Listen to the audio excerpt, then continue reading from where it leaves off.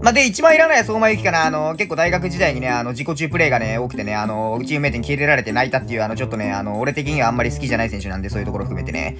まあ、正直相馬ゆき出たらもうデータ消すまであるんだけど、まあ、とりあえず引いていきましょうかと。さあ、無料分で誰が出るかというところで、さあ、誰だ？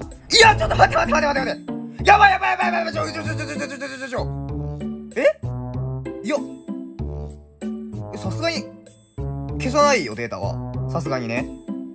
さすがに消さないけど、データは。ねえ。どうしよう。いや、いや消さないよ。さすがに消せねえよ。